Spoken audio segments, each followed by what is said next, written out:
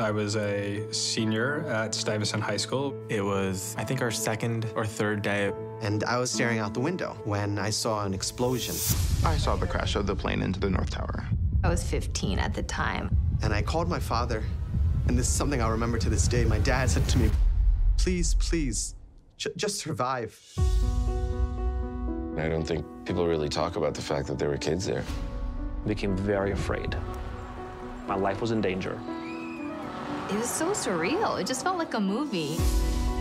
We experienced being a witness to history, but also, if you look back on it, being a part of history.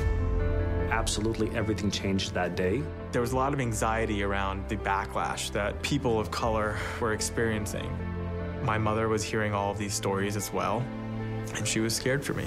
But people who were together on that day really solidified relationships. People thrive and rebuild and recover despite difficulties. And I think that's a testament to, to all of us. And I think that is a testament to not just New York, but also the human spirit.